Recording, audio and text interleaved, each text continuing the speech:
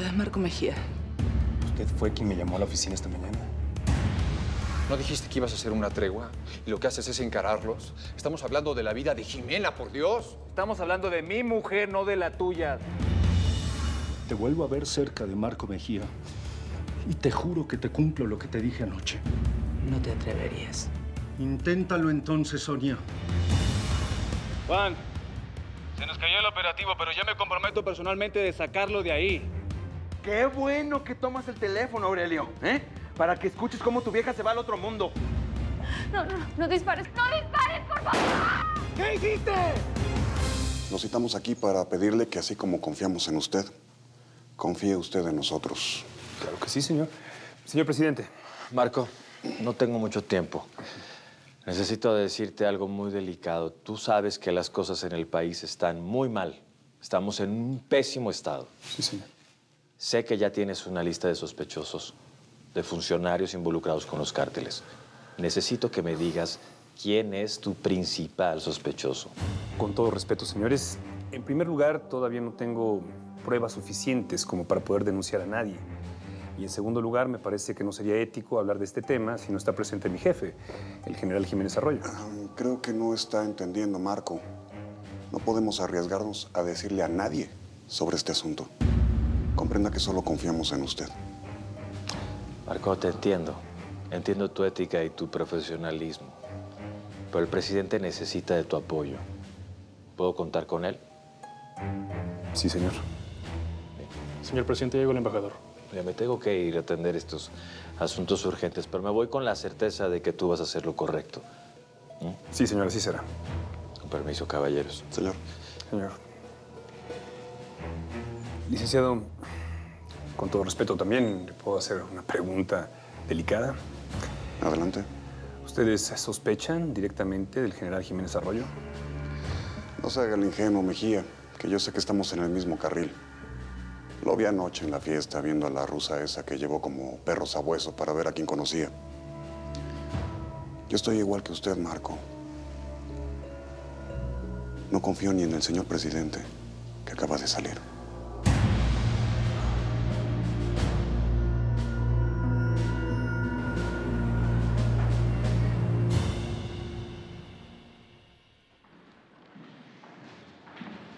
Toma, también hay que mandar recoger los cuadros de Santoyo a su taller.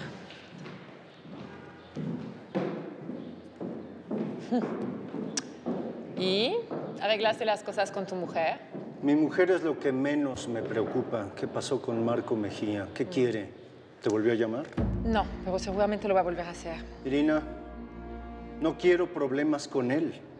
Pues yo tampoco, Ramiro. ¿Mm? He estado pensando que deberíamos de entregarle a alguien, como para tenerlo tranquilo. Muy buena idea, pero con mi gente no te metas. Ay, la policía sabe perfectamente que algunos de mis clientes compran arte para lavar dinero. No solamente tu gente, querido. No, algún funcionario menor o un productor de televisión, algún banquero. Alguien que no nos afecte mucho a ninguno de los dos. Muy bien, Flaquita, esto es lo que más me gusta de ti. que nunca dejas de pensar en lo que más te conviene. Ah, ¿de verdad? ¿Mi manera de pensar es lo que más te gusta de mí? Sí. Bueno, y que te quites la ropa, claro. Oye, por cierto, hablando de ropa, ¿no tienes aquí el vestido que llevabas anoche? eh? El negro es entalladito. Se te veía muy bien y me quedé con las ganas de arrancártelo.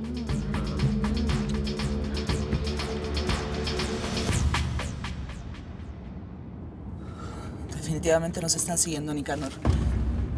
Vaya donde le pedí, por favor.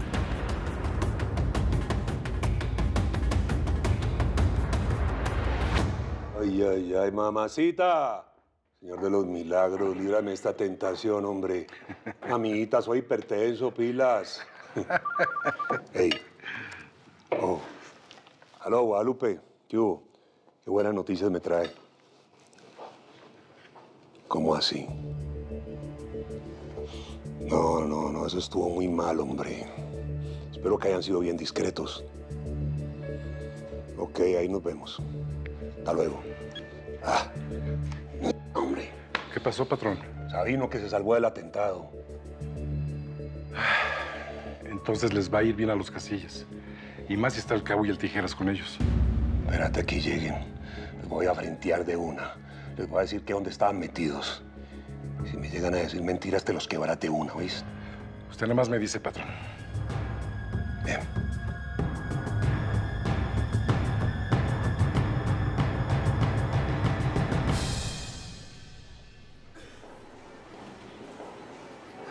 ¿Cómo está? Le traje una frutita. Oh, gracias. Le quería traer algo más suculento, pero los doctores no me dejaron. Le juro que cuando salga de aquí le preparo una cena deliciosa. Lo que usted quiera. Muchas gracias, Emma. Por nada. Pobrecito. Lo tienen con unos sedantes tan fuertes. Apenas está despierto un par de horas al día. Ay, pobre hombre. Dime, ¿cómo te fue la Ay, cena? Pues, pues digamos que bien. Fíjate, estuve intentando ayudar a, a Marco a- en las investigaciones. Pero bueno, ¿por qué no viniste tú? Dime.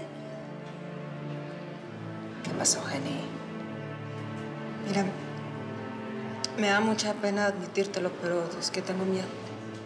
Ay, ¿y cómo no vas a tener miedo si te dispararon, mujer? Yo me sentiría igual que tú en una circunstancia así. No es esa clase de miedo. Ah, bueno, a lo mejor piensas que Marco no te ayudó como debiera o... A ver, si es eso, mira, hija, a mí me consta que mi hijo te adora, ¿ok? Y lo del atentado tuyo y de Linares fue como, ¿qué te diré? Como una inyección de motivación para acabar con esos desgraciados. Pero por favor, intenta entenderlo. No se trata de Marco. Yo soy la que está intranquila, la que siente como que no puede respirar, la que tiene todas las dudas en la cabeza. Gracias por la fruta, por la visita, Emma. Vamos luego, ¿sí?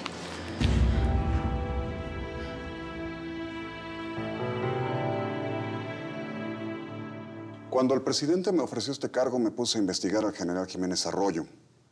Hubo ciertos detalles de cómo su gente manejó el caso Casillas. Inconsistencias, las mismas que usted ha denunciado.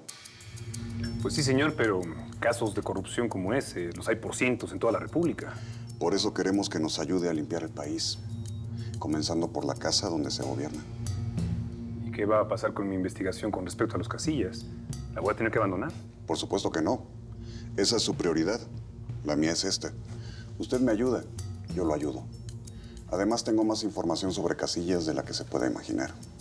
Espéreme aquí.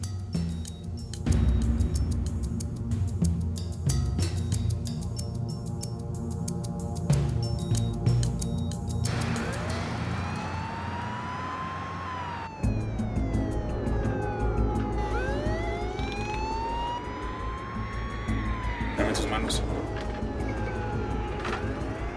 Dámelas.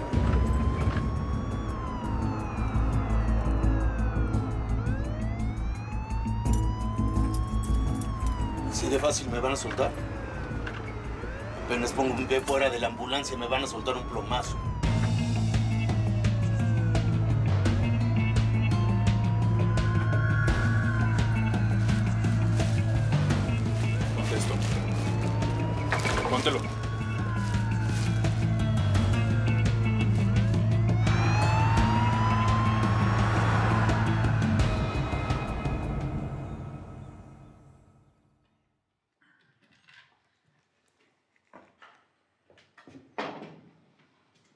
Ya casi se cumple el plazo y no sabemos nada de su hermano. Si en 15 minutos no tenemos noticias, yo mismo la mato. Y yo me voy a morir tranquila, sabiendo que Aurelio no va a descansar hasta encontrarte y hacerte pagar de la forma más cruel que hayas matado a la madre de sus hijos. El patrón dijo que tiene que descansar. Se le puede abrir la herida. Tú tranquilo, todo va a estar bien.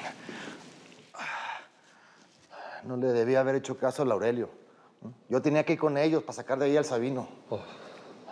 Aquí nos tienen con el Jesús en la boca sin saber nada. Como que ya se tardaron más de lo previsto, ¿no? Pues tú qué crees? Que sí. Te noto medio tenso, Turco. Estás como medio nerviosito, ¿qué no? sabe dónde le habrá dado ese balazo a Jimena.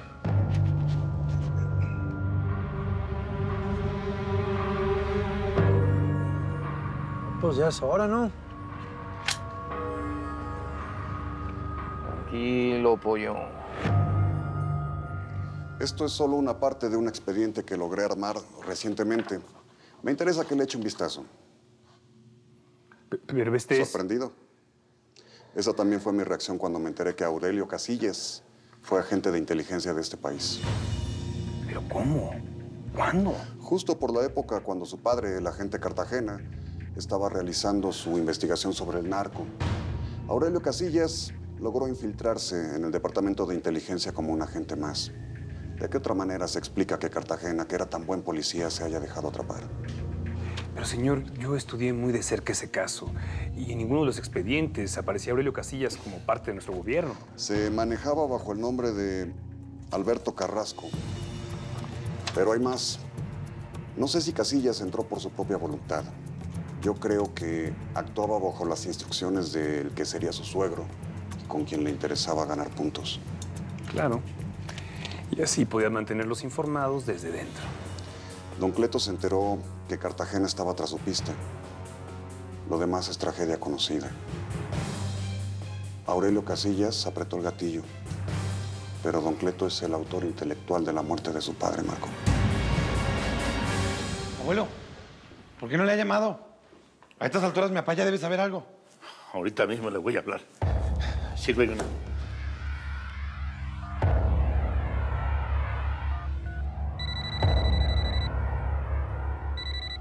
Sí, bueno. ¿Qué pasó, Aurelio? ¿Ya pudiste negociar algo con los Villalobos? Don Cleto, tenemos la soga en el cuello. Yo mismo me voy a encargar del operativo para sacar a Sabino y cambiarlo por Jimena. Pero te dieron pruebas de que está bien. Sí, don Cleto, ella está bien, está bien, no se preocupe. ¡Ahí viene, patrón! Ahí que viene, lo tengo que dejar. Escúcheme bien, don Cleto, si no sacamos a Sabino, Jimena se muere.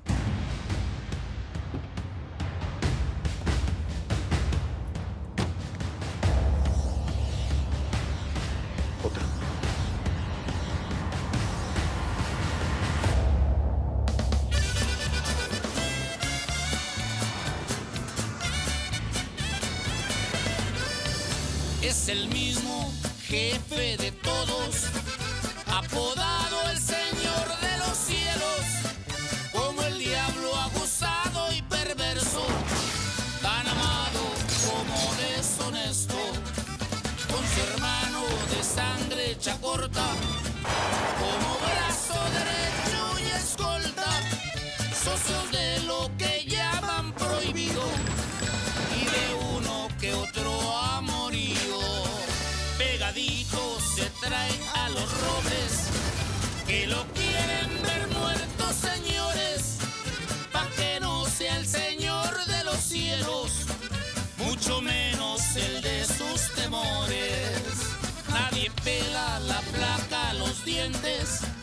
como lo hace el Señor de los cielos, que se pone a la ley de guaraches y al destino y amor de sombrero.